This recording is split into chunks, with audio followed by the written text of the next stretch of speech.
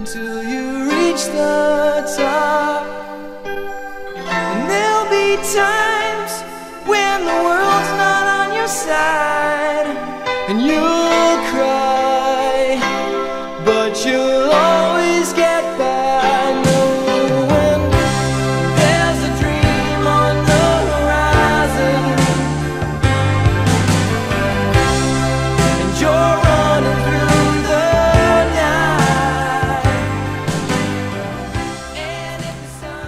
Happy Homebrew Wednesday, guys. Cheers. How you doing? How's it going?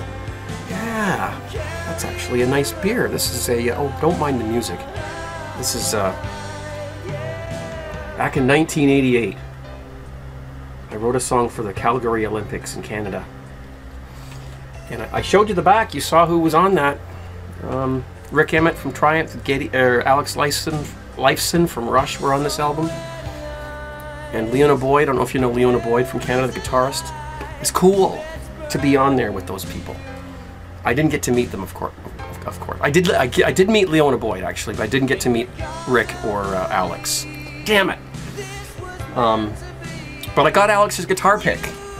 I have his guitar pick. I, I put away, but I do have his pick, and it says Alex Lifeson right on it. So there you go.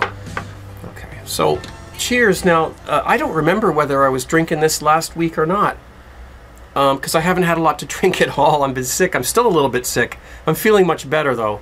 But this cold does stick around for quite a while. Um, by the way, what you saw at the beginning there, that's our furnace. It just keeps us warm in here. Um, but this is a, um, a Cooper's English bitter with added hop, uh, added um, uh, grains, chocolate malt, Crystal 60. I think I was drinking it last week on my homebrew Wednesday, but I can't remember. Um, it's very, it's pretty dark, so I can't see through it, but it is relatively clear if you do get a light, which I, I've got one big one on up there. Um, my old fluorescent light, which takes about five minutes to come on. It flickers and blinks and all kinds of stuff, and then finally it kicks in. Probably needs a new ballast. So uh, yeah, happy Homebrew Wednesday. Um, let me take another another go here.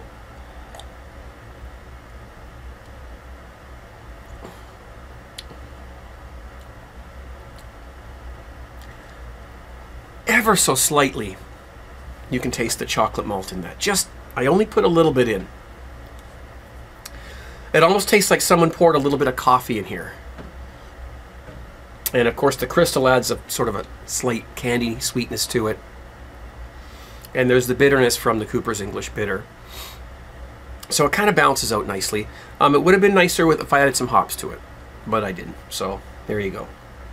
Because it's a little bit too bitter. It needs it needs a it needs somebody on the other end of the teeter totter um, to balance it out. Maybe some hops, but oh well. That's what we do. We experiment when we home brew. Today, I don't have. I will tell you up front. I got some stuff to talk about, but I don't have anything brewing, and that's because I've been sick all week, to the point where I just really haven't felt like drinking very much. I had quite a few beers on my last Friday night broadcast, but after that, um, and before that, I didn't. I haven't really been doing a lot of beer drinking, so maybe it's a good thing, sort of detoxing a little bit. Um, I got myself a bottle of rum, and uh, I'm gonna I'm gonna have a little shot of it at the end of this video. Um, so I think that you know one thing that goes well with beer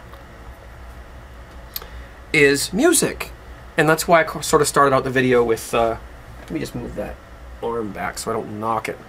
Um, start out the video with that just because it's the only song I can only play my own music on these videos, otherwise I'll get nailed by YouTube or whoever. So Otherwise, I might have thrown on some Rush for you or something, because I love Rush. I'm, I've decided, come the new year, because I haven't really got much money right now because it's Christmas and everything. Come the new year, I am going to obtain one Rush album on vinyl per month, whether it be eBay, Amazon, or um, down at my local record store, wherever I can find them. One a month. Because some of them are pretty expensive. This one here, let me just go down and get it. Hang on, hang on, hang on. Let me find it. It's in here. Where the heck is it? There it is. This one, let me put my beer down so I don't get confused here and spill something. Um, this was a gift from a friend of mine who I've never met in person, but he's a online friend of mine. Very good friend, actually. Um, his name is uh, Rich um, Goyette, and um, he has a, a new album out, actually. So he sent me this. I'm going to take it out of the out of the plastic here, and it's the Rush um, um, "Hold Your Fire" record, which came out around the same time the Dream on the Horizon one, maybe a bit after. And uh, it's it, this thing's worth. I don't know if Rich knows this, but it's worth about fifty bucks or more because it has uh, the original um, label on the vinyl. Let me just take it out and make sure I've got it the right way around here. It's got the original, I guess this is called a um, sampler label or something? I can't remember. But apparently this label is not the label that's on most of these. You would just get the Anthem label or the Mercury label. Um, so this is rare. And you know what? It sounds absolutely beautiful. it just does. It sounds so good. And I, I want to do a whole video I'm talking about vinyl. I'm just going to set it down there for now. Talking about vinyl and why it sounds better. People think, well, how can it sound better if it's mechanical and there's pit pops and scratches? Well, if, you take good care of it, there's no pops and scratches or very little. The reason why vinyl sometimes sounds better, just the very nature of the way the sound is reproduced. It's it's got a nice warmth to it.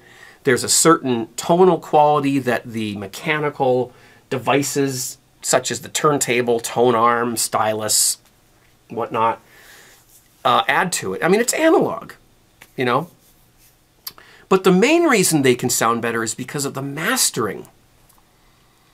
Mastering means when they take the final recordings from the studio and they take them to the pressing plant well, not quite the pressing plant, but the stage before the pressing plant.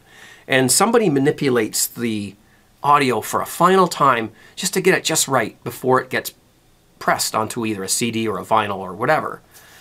And the mastering for vinyl is different than the mastering for a CD.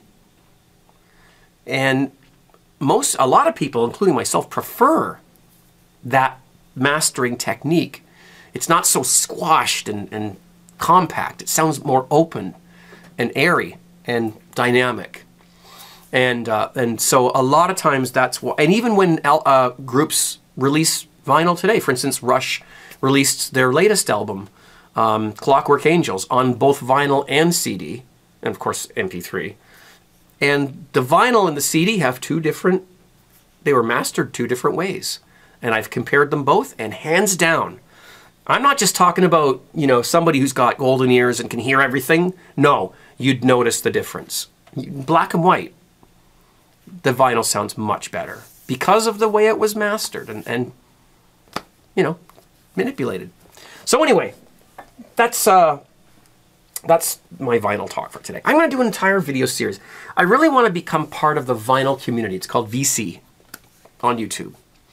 I'd love to become part of the vinyl community. I am a vinyl person. I collect. I play them.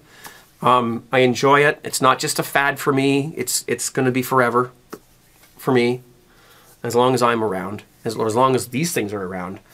And so I want to become part of the vinyl community, which means I need I need to make some vinyl videos, uh, turntable setup, um, maybe showing some of my vinyl records. So some of my YouTube stuff might not be brewing related in the near future, but hey, that's not all, that's never been a problem in the past. So um, you know, you don't have to watch it if it's not something you think you'll be interested in. Mmm. Bloody. It, uh, you know, it's got a bit of a sour taste to it. And that's because the, the original package of yeast that I pitched didn't do anything. For 24 hours, nothing happened. So I repitched another package of yeast, and then it took off and went nuts. I'm pretty sure in that 24 hours it caught a slight um, infection, which means that it's a little bit, tiny, tiny bit sour. Now I could be wrong. Um, maybe it just tastes like that because of the recipe, but it does have a slight, just a hint of a sour taste to it. And, I, and an infection is not necessarily a bad thing. It's not something you want because you can't really control it. But in this case, it's just it just changed the flavor a little bit. It didn't ruin the beer. Just because a beer gets infected, beer, all beers are infected. Well, except the ones you buy in the store because they're they're dead. They're pasteurized and they're dead beers. These are alive. These beers are they have living yeast in them and they are you know organically alive. And if you, you leave one of these sitting out overnight, it will rot. If you leave a store bought beer sitting out overnight, you can literally drink it the next night. Uh, haven't we all done that? You know, at a you've had a party in your house, and the next day there's like half a dozen half half or half a dozen full beers sitting around. People open them and forgot about them. I put them in the fridge. They they taste fine. There's nothing wrong with them because they don't go bad. They're sterile. You know, this stuff is not. This is alive. This is the real deal. So, speaking of audio, I don't know if you. I got asked a couple weeks ago or last week. Somebody asked me um, what I use for my sound system down here for my, you know, my stereo basically. So I'll just take the camera and I'll just I'll show you. And I all this stuff was purchased at Value Village, a thrift store. Okay, I'm going to start off with the speakers. I have six speakers here. One, two, three, four, five, six. That one's missing a dust cover. Uh, not doesn't really matter. It seems fine. I'll get another one somewhere. Um, all six of these speakers are hooked up to this amplifier here. This amplifier I obtained from Value Village. It was $40. It's a Nikko. It's a professional rack mounted. Well, I don't know if it's professional, but it's a high end rack mount. It's 250 watts. Um, and that's 250 real watts, not the watts that you hear about these days when they when you buy like a little boom box thing, little sh- bookshelf stereo, and and they tell you it's a thousand watts. That's rubbish. They're not a thousand watts. That's a unfortunately power when it comes to stereos. I don't know how they do it, but they somehow lie about it. Um, a thousand watts would blow your windows out of your house. They're not a thousand watts. This thing is way louder than those home theater to box things or little wall units that say they're a thousand watts. This thing is way louder than those. It's really 250 watts. It's not fake. Here's the preamp that came with it. This was $25. This wasn't even the same part of the store. It was on a completely different shelf. And I just, once I had the amp in my hands, then I saw this thing. Um, it it's the preamp is where you plug everything in and control everything, right? And then the amp is just the thing that boost the boot you know powers the speakers. It doesn't have anything on it except power, speakers, and the, the meters. But so I can go with um, speakers A, which are the big ones, or I can go with B, which are these ones, and I've got these hooked in series. Okay, each of these. So that one and that one are in series, and that one and that one are in series. They're four ohms each, so that makes eight ohms. Actually, I think one of them are six ohms and one of them's four, so that makes 10 ohms. So that's fine. The amp ha- handles anything from 4 to 16 ohms. Or I can put them both on together. And I'm telling you, this sounds really, really nice. Now I realize the speakers aren't really far apart. That's that's the best I can do right now. Eventually, I'm going to rearrange the basement and put the speakers down on the floor where they belong, and uh, at least the big ones anyway, and uh, put them farther apart. But anyways, that's what I've got. The top one there is another. It's a receiver I have. I purchased at Value Village. It actually does work, but it takes about 20 minutes to work. I think it's a bad capacitor, a bad solder, or something needs to heat up before it will operate properly. But it's a good little amp and it's got a radio in it and stuff. So that's that's what I power things with. The turntable gets plugged straight into the power amp because it's or sorry preamp because it's got the uh, you know the turntable preamp in it. I'm not going to go through my circuitry here; it's too complex, but you know probably bore you to death. When I turn the big speakers off and crank up the small ones, which I think are 100 watts each, so I don't have to worry about blowing them. Uh, well, unless I, you know, really overdo it. Um, you'd be surprised if you came here and heard just the small speakers. You'd be very surprised very surprised. And I've been into stereo and audio equipment for all my, you know, since I was a teenager. So um, I'll tell you, they sound amazing. And then when you click on the big ones, it's like, whoa, well, now we're cooking. So um, that's uh, that's my setup for that. And if you saw my turntable, and um, it's it's a gem. I, I love it. So as far as brewing goes, um, like I said, I haven't done any um, in the past week and a half. So I'm behind. I actually had to buy beer. And for Canadians, that's really that's a big deal. That's like, you know, you don't you, you go without groceries for a week, you know. no, I'm just joking. Um, so uh, it's expensive. You know what? Go on the web, go online, on Google, and look up um, Ontario, the beer store. Just type Ontario, the beer store. And you'll find the website for the Ontario beer stores. And then you, you go, make your way through there to find the prices of the beers. Okay, go to go to beer brands or search for a beer or whatever. Search for a beer that you recognize, like a you know a, a brand name beer like you know Labatt's or or you know Coors or whatever, uh, uh, and and and look at the prices. Hey, I, I'm not going to sit here and tell you what the prices are. You can look that up for yourself, and you'll you'll be crapping yourself if you live in the U.S. or in some other places how expensive it is. Uh, tonight, actually, I but after I do this video, I have to brew a batch of wine and a, a, a Cooper's kit. I'm just going to throw down a, a quickie just to get it in there. I was supposed to do it last week, but I didn't. I was, didn't feel well, so that's what I've got. And I think I'm probably out of time. We'll take another little listen to that record there, if you don't mind. If you want to hear more of my um, music, my music that I wrote and recorded, you can go to craigfarraway.com and click on the music section, and they're all free. You can download them for free. Please burn them to CDs, give them to friends, whatever you want to do. Eventually, I may sell compact disc copies of the songs. I'm not sure. Um, people keep bugging me. Why don't you make money off this? Why don't you, you know? And why didn't I become, you know, get into the industry, which is a whole other story altogether. And then I don't have time to explain that right now, but I will eventually. We'll tell the whole story.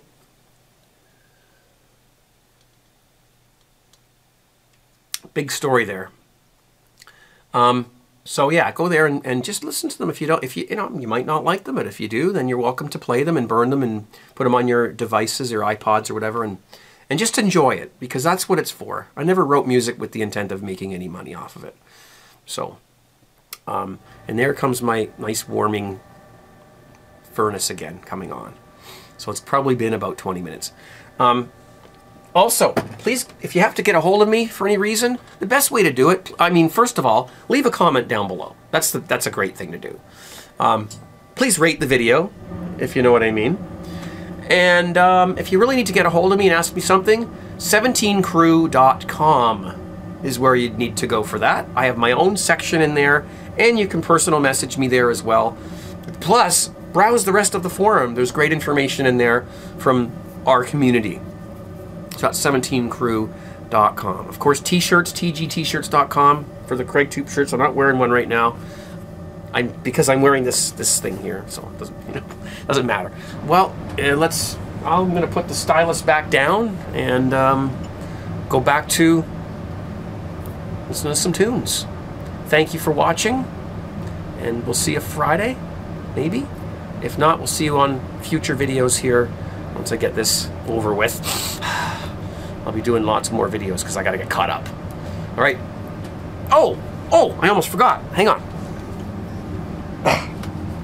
Jeez. Almost the most important part of the whole video.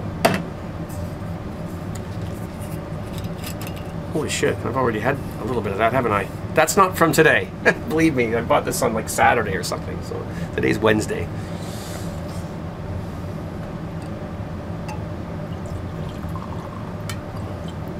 Just a little. All right, guys, so here you have it. Double fisted. Cheers.